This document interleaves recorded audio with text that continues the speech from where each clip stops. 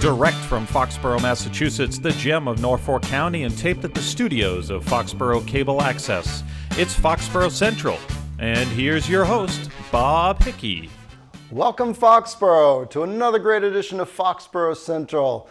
How is everybody doing today? I'm Bob Hickey, I'm your host. It's good to see you. Thank you for taking some time to spend with us here on your favorite Foxborough Cable Access channel.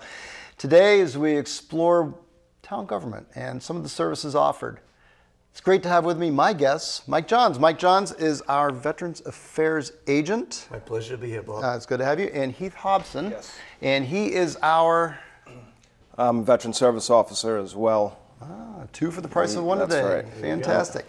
so we have Veterans Affairs. And in Foxborough, uh, there's been a lot of discussion over the last few years about services, level service, full time, part time, uh, to regionalize. Um, you know, is the old approach best? Are new thoughts the way to go? Um, and you know, without getting uh, overly dramatic about it, but did something really need to be done, or is it just improving upon something good that was already happening? So I toss all these things out on the table. I'm not MacNeil Lehrer, but let's have at it. Mike, you are our Veterans Affairs Director. Right, the deputy director of our uh, four-town district. Okay. And um, yeah, something did need, need to be done. And uh, we were working on uh, with an old system, and um, you know, per the uh, Massachusetts law, we um, we weren't grandfathered in anymore, so we did have to either hire a full-time uh, veteran services director or join, join a district. So Foxborough did hire uh, me as its first full-time uh, director in, in a long time. It was an excellent move on uh, Mr. Paicos' part, I do believe. Thank you. Um, and I don't say that just because you're sitting here. Although it doesn't hurt, does it? yeah, I can't think of any re- other reason you would say it. um, and then um, it was about a year and a half later, uh, we did move to regionalize into a four-town district: And the four towns are uh, Foxborough, Easton, Norton, and Mansfield. okay. So um, yes, I think that was uh, it was a move that had to be made, uh, not just because of the law, but because it was the right thing to do. So those other three communities, Mansfield, Norton, and And Easton. You see how quickly I forget. see, if we repeat it five times and I get it once, maybe the viewers at home will remember too. So, uh, with those other three communities, were they in a similar situation where they're also at risk of not being grandfathered, or did they already have a regional approach going and we uh, glommed into that? So everyone was in a different situation. Mansfield had had a full-time uh, veteran service officer for some number of years, at least seven. Um, Easton had a full-time service officer until just a couple of years ago, and then they partnered with Norton to become a two-town district. Okay. Uh, that district didn't work out very well um, in about a year. Um, and unfortunately, the veteran service officer there uh, retired, Okay. uh, kind of somewhat unexpectedly. So both towns found themselves in need of services. Um, and it was uh, around about that time that the town managers, uh, you know, started talking. I, I think that it was the uh, town manager, maybe from Norton, that approached the other three and said, "We're looking for services." Okay. Um, so we we worked on something part time um, until a, a, longer term solution was was found. Excellent. So now we have a situation where we've got the four communities, and in this four community, and it's, it's contiguous. It's interesting that Easton and Norton had partnered up because I would think that would be a little difficult logistically just because of the distance between the two communities. But now that all four sort of in a, in a grouping, it seems as though it makes sense that that would be a, a logical uh, grouping, if you will. And it seems to be working out. Um, you know, we started on February 1st. Um, we laid plans, and we're still uh, taking baby steps. Okay. Uh, we're still uh, figuring out some things. We're still uh, building on a model that uh, you'll probably take another year to get uh, really fully functional. Um, but I think the important thing is that the veterans in in the communities are still seeing service, um, and uh, you know I don't think they're being hurt that way. Um, you know, part of regionalization, uh, the idea of it is to uh, become efficient and save money. That's the part that has not been realized yet. Um, I do believe that's possible, um, and I think that's through efficiency that that's going to happen. So again, we're taking baby steps. We're about nine months into it, and uh, I think over the next several months, we'll move towards uh, becoming more efficient and effective while continuing to deliver services. And Heath, how long have you been part of this uh, service grouping? Well, I was hired in May, Okay. so I guess that's about six months. Now, do you So- serve specifically Foxborough, or do you serve uh, the four communities? What's your area of focus? Well, mostly I'm supposed to be in Foxborough and Mansfield. Um, you know, split my time between the two. um, lately, I've been just in Foxborough. I was still trying to get things set up in Mansfield, um, but I am available to cover Easton and Norton. Okay. Um, that's one of the good things about having the um, the district is is the the coverage. Um, some veterans were resistant, I think, at first um, to losing their one VSO um, and having that connection of you know this is our guy in this town. Sure. Not realizing that it's better to have a team covering you than it is to have um, just one VSO. So if someone needs to be somewhere else, one of the other VSOs can just just um, backfill, just go in and. So you mentioned team. Uh, Right. you know, we are here in Foxborough, and this is Foxborough Cable Access, but Mansfield, Norton, and Easton, what is their uh, piece of the pie? Who else is part of this team? Sure. So there's, uh, in addition to Heath and I, there is one other VSO. Okay. And he's it's the gentleman who had been the full-time service officer in Mansfield, and uh, currently he's the director of the district. And um, uh, I understand that he'll be retiring uh, shortly, Oh. and then uh, we'll hire a third person. I was uh, privileged to be part of the interviewing and hiring process when we brought Heath on, and um, you know he's met every expectation uh, and then some. And so we're looking to do the same thing when we hire a new third VSO and continue to build on what we're doing. And I think as um, you know, as as older folks retire and we we uh, build a younger uh, crew, maybe with uh, folks with more recent experience, more technology base. I think that's when we see some of those changes that are going to move us into being able to better touch and connect with our younger generation. Uh, Heath is a, uh, uh, an Iraqi veteran, OIF. Uh, I'm a Gulf War veteran.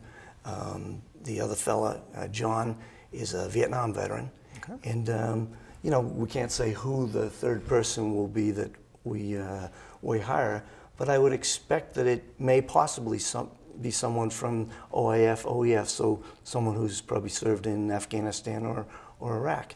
And, uh, you know, that's when we'll move forward a little bit with uh, technology and a little bit more flexible scheduling and communication system so that we can increase our hours of coverage throughout the four towns.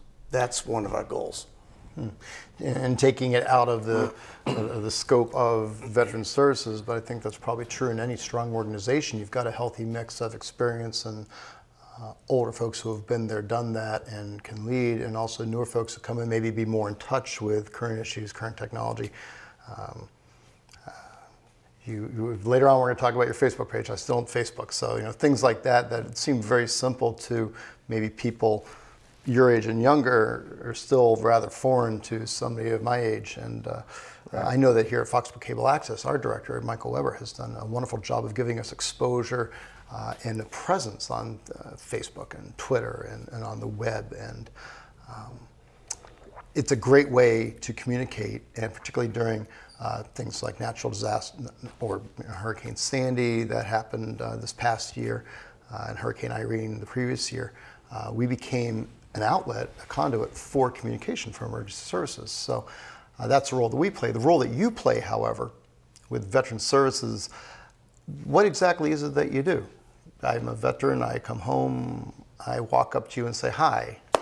Sure, and that's, uh, that's oftentimes how it happens.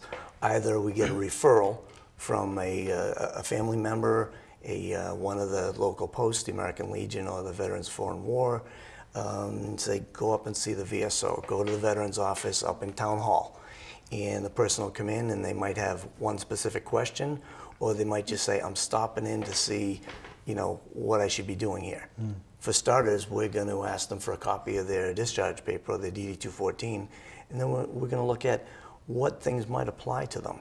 If they are uh, someone who's served in a combat zone um, and they were a Massachusetts resident and remained a Massachusetts resident while they were in the service, then they're uh, due a, a bonus, you know, up to $1,000. Um, and then for follow-on uh, deployments, it could be $500. And um, so that's for starters. Then um, th- there's a whole gamut of things, anything from education, someone getting back into college, looking for jobs, um, looking to take care of, of wartime injuries, illnesses, anything that's service connected. And it might not necessarily be a combat injury.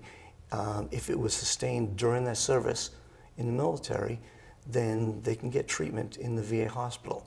And while Heath and I don't work for the VA, you know, we work for local veteran services. We do work hand in hand with the VA.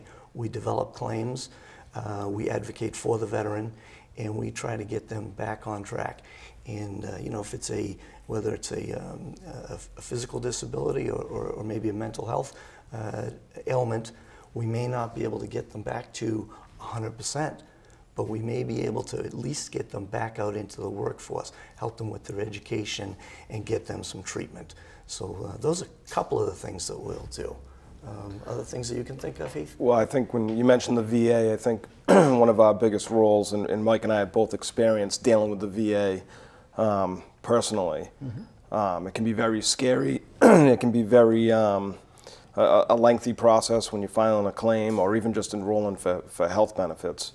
Um, I think by being um, a type of middleman or, or um, advocate for them to deal with the VA, it, it relieves a lot of pressure that they might have. Um, it's, it's a, like I said, a long process, and sometimes if a veteran tries to do it on, on their own, they end up just walking away and not getting the benefits that they've earned.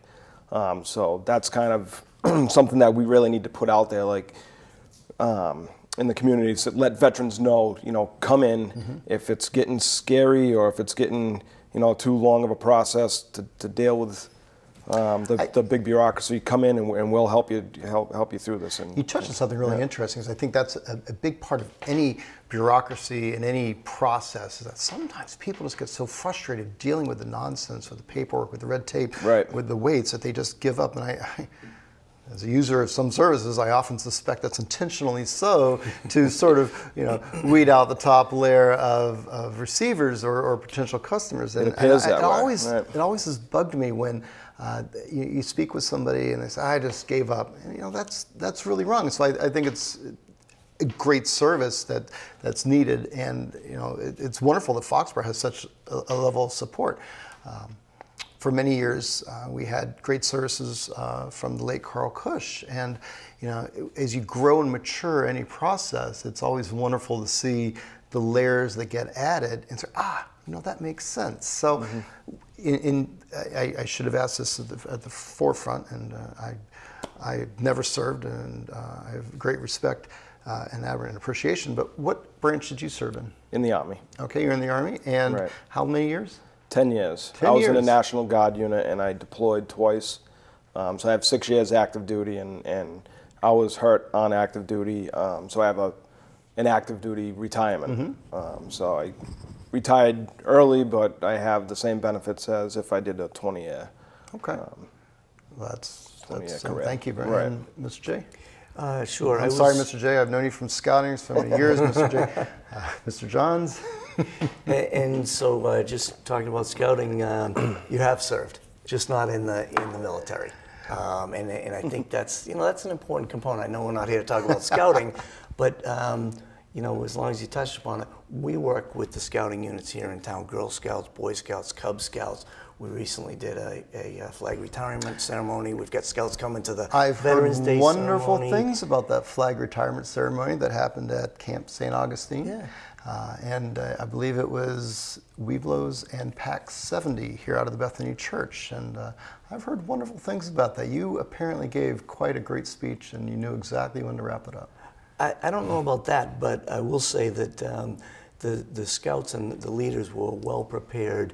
Um, you know, I couldn't fire a question at them that they didn't know the answer. Well, You know, what's the red mean in the flag? You know, why 50 stars? That sort of thing. Really? That um, the general populace might not know, and these are um, these are kids that are that are learning important things. But And they were uh, fourth and fifth graders, so it's a great example of why scouting is important as far as the continuity of. A- you know, absolutely. it made part of the.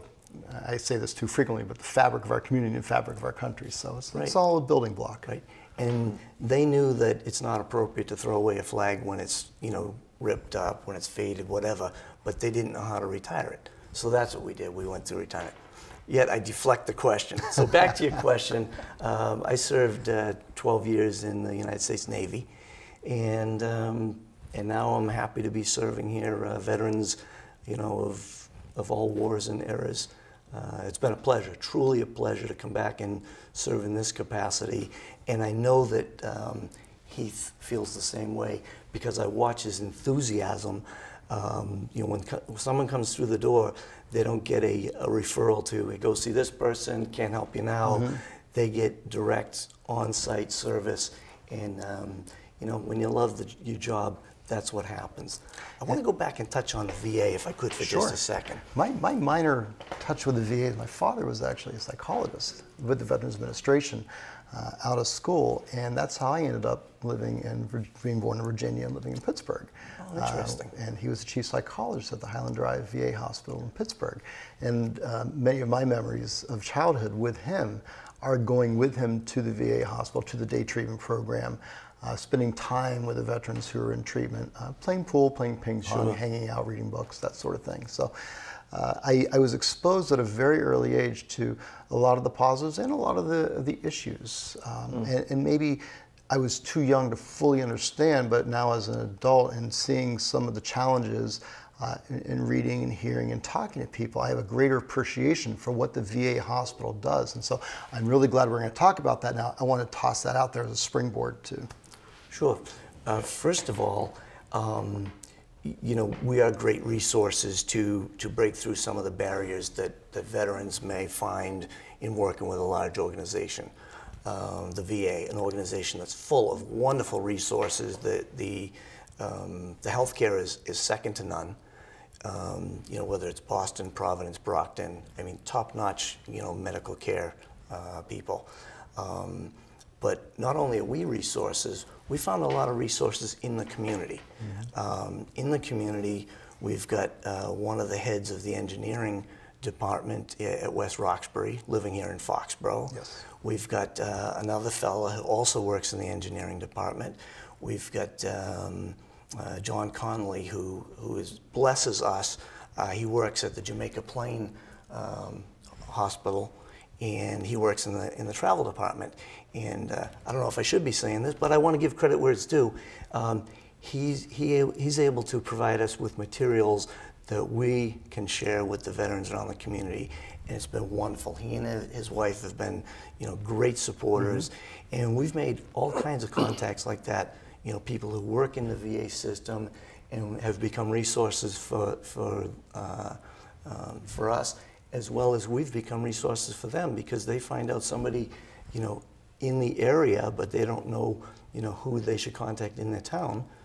You know, we open up a book, and it's it's a networking process. So you're a, long and short of it, you're a huge resource uh, for a variety of needs, even medical needs, Women may not think that their VSO, is that the right right way to say it? Sure. Yes. Yes. Where where their VSO would be uh, perhaps the best contact, but maybe you are the first stop, because it, it sounds as though the role is uh, veterans agent, but also social worker and sort of omnibudsman for services, uh, at least identifying some paths to go down. So it sounds like a really far-reaching, intriguing role. And how did you get involved in doing this? Um, well, it, it's like you just said. It's basically case management. Um, you know, every case is it's individual, and by coming to us, we can navigate. We we know who to to um, contact right away. Someone can make a phone call to the VA looking for services on their own, and immediately get turned off because they got the wrong person on the other end of the phone. If they come to us, we know who to call. We have people that we know do the job, and we'll contact them first. Um, but I got involved just by doing. A, I, I graduated from school in in um, December. I used the GI Bill, Okay. um, December 2011, and I was looking for work, which is uh, an issue right now with veterans out of work, just like it is for. for um, you know, on a whole for everybody, but the veterans' unemployment rate is double, if not triple, what. Is it really? Um, yeah, and I think they might be improving a little bit, um, but but anyhow, I was I was searching for work. But for that sounds like it's one months. of the untold statistics that maybe could Right. be publicized a little better. Yeah, absolutely. And employers be more sensitive to that and make more of an effort to accommodate, reach out. Right, and I, and I think they're trying, um, uh, but a lot of it also is on the on the veterans end of it. It's an adjustment issue. I- I'm pretty sure with trying to get back into the swing of a normal life after serving in a in a combat zone. Um, you know, it's it's very difficult to try to transition your role from. We're in an extended, uh, the longest extended period of continuous warfare Right. in our nation's history. So right. outside the revolution. So uh, certainly that's an issue. Right, and, and it will be for for years to come now because it takes that you know you're talking a younger generation that has the ability in some cases, in a lot of cases, to, to go back home to readjust, and you know they might get stuck in that slump trying to figure out what, what to do next. Should we go to you know should I go to school or should I just go to work? Um, and so that I think that's going to be prolonged for a while just because of that. You're talking about kids in their early 20s and even younger in some cases. And I suppose also, just at a, at a macro level, anytime there's a career change, no matter what the career, there's that transitionary period. And I, I That's right. suppose that all of the issues uh, that you mentioned just add to the layers of complexity uh, that have to be worked through. Absolutely. Right. Um, Heath and I currently are working, you know, usually we're working independently in different towns where we've got three people covering four towns. You rarely see us like this, both of us in one town. Well, I had to catch you You at know, three o'clock in the morning. Yeah. Actually, you can look at my beautiful studio window, and it's not quite three o'clock in the morning, but I do appreciate uh, your coming up. And I just want to remind everybody, Mike Johns is our Veterans Fair agent here in Foxborough.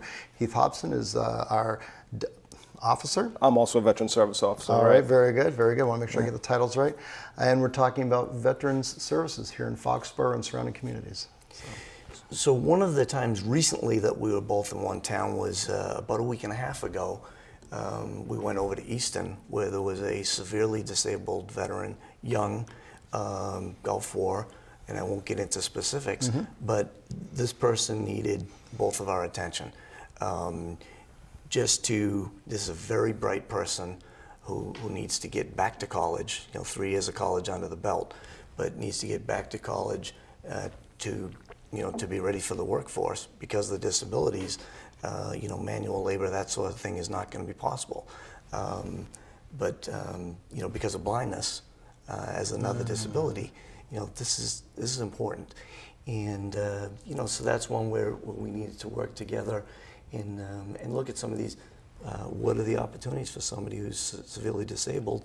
And, you know, what are the methods of transportation to get somebody to use their GI Bill? Um, and, you know, one of the things a big concern was just to get this person registered to vote and, and then to get this person out to vote uh, next week really important. Seems like a little thing, but uh, it's a big thing for somebody who's you know kind of stuck indoors. Sure, sure. Um, you mentioned statistics, and there's there's um, a couple where I don't want to mention exact numbers because depending on what study you look at, you get a, all kinds of different But at a high level, it's good to know the scope and breadth of what you're Right. talking about. The scope what, is the need is. Yeah, as far as unemployment, you know, as unemployment uh, in the nation grew to about nine and a half percent, uh, veterans were about double that, um, particularly newly uh, discharged veterans, and suicide at, at one point was at least double uh, the national average, and and near triple for female veterans. Um, so that's a population that um, you know that we've got to be trained, educated, and have some experience in working with because we've got a lot more female veterans um, in the service now and coming up. That's a very, uh, uh, very hard-hitting number there, and I, I suppose that brings up the next, next question. I mean, it sounds like there's so many pieces to the puzzle of what your job is. How do you get this training? What do you do for continuing education? Where do you, how do you stay on top of all the different things? How do you know what the best services are, for, uh, say, for a, a blind individual to get reacclimated and, and get back into it? You can't just wave a wand. It sounds like a lot of hard work. I'm going to be blunt and honest here. Um, I love that on this the, program. The, the, the job has to be offered the, the uh, right amount of salary to attract individuals with college education and who are able to stand on their feet, make decisions, and move. Because the state does not yet have a training and certification program for veteran service officers. That is a, a big thing. It's, it's on uh, Capitol Hill right now. Mm-hmm. There's a certification bill. I hope they get behind it. Um, I pushed hard to get somebody, you know, with a four-year college degree who was able to stand up, make decisions, and, and, and act fast. That's who we hired. The next person, we hope we can get someone of that caliber. Um, so it, it's really a hiring decision more than now we get annual training, but uh, you know it's not like you've got a health agent or you've got a, a licensed social worker or you've got a you know a, someone in emergency services. They've got a set mandated amount of training. It's not that way uh, yet with veteran so service we officers. also need to add political advocacy and uh, willingness to go out on a limb to make a difference to the job title, to the job requirements. I, I, suppose at some level that, that needs to be done. We try to really stay out of the politics of it. Well, I'm going to interrupt you right there because those of us who live in town uh, in Foxborough know uh, the path. And I believe it was just was it just under three years ago uh, that you started down this career path. Yes. And at that time, it was a part-time service. It was not well funded, and it was not uh, an integral part of the service delivery program, or net, if you will, uh, from Town Hall. And you've grown it, and I will say you have grown it into, uh, along with Town Manager uh, Kevin Paicos, into a regional approach with uh, redundant services and a significant amount of outreach that has built upon the services that were previously offered, not taken away from any of it.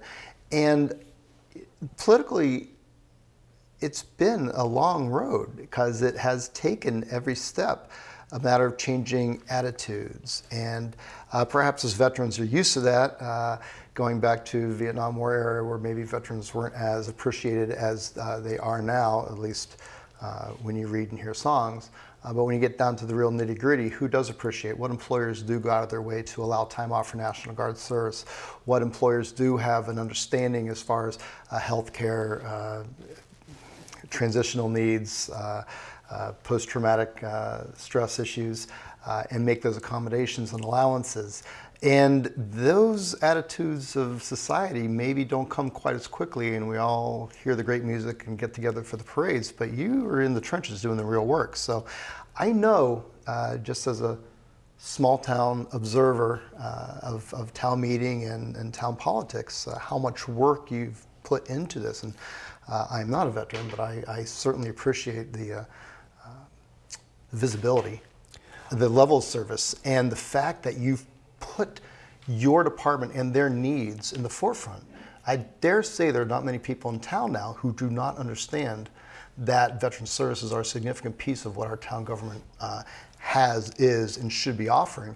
And that's why I'm glad you're here taking the time to spend with me on Foxborough Central to share with the community uh, some of the good work that you're doing. So I'm done tooting your horn, but don't don't downplay the hard work that's gone into all you do because I know that uh, it, it's much more work than what you're letting on. Right. I will say, um, just to go back a little bit and quickly recap. We have to people, do it quickly because we are so out of time. It's unbelievable. People will remember that you know the veterans in town were all against doing a district with Walpole, mm-hmm. and at that time it was the right thing to do. Walpole wasn't funding or, or providing adequate services. Neither was Foxborough. Both towns then hired full time, and now Foxborough has gone and regionalized, and we're continuing to provide great services. The Board of Selectmen, the town manager, have really done a great job of supporting veterans, I feel. So before the Band-Aid was the wrong thing, now the regional approach is absolutely the right thing. That's the message. Yes, it is. Heath, right. I want to thank you so much for taking the time to come out and spend with me and our friends at Foxborough Central, Mr. Johns. Well, thanks for your time. Thank you so much. Thank you for your service. Thank you for your continued work. And on behalf of everybody watching at home, thank you very much for just taking the time to spend with us in Foxborough Central. Mike Johns, Heath Hodson, if we want to get in touch with them, if you're at home, a veteran in need of services, or have a neighbor or friend maybe in need, you can contact them at Town Hall here in Foxborough at area code 508 543 1204. I didn't even look at my notes, I know that number. That's right. 1204 at Town Hall, or you can call our main number. Uh, also, are you on Facebook?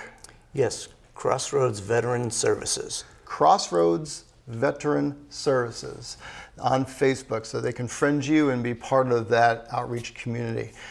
Heath and Mike, thank you so much for coming out. And thank you, everybody, for taking the time to spend a little bit with me, Bob Hickey, your host, here on Foxborough Central as we learn about our regional veteran services. I'd also like to thank everybody behind the camera Bob Lomas, Paul Gukin, Betty Travers, Deb Stores, and also Gary Nash, the man behind the glass who makes it all work. Again, thank you very much for joining me on this Foxborough Cable Access station. If you'd like a copy of this episode or want to look anything else up, check us out on web www.fcatv.org.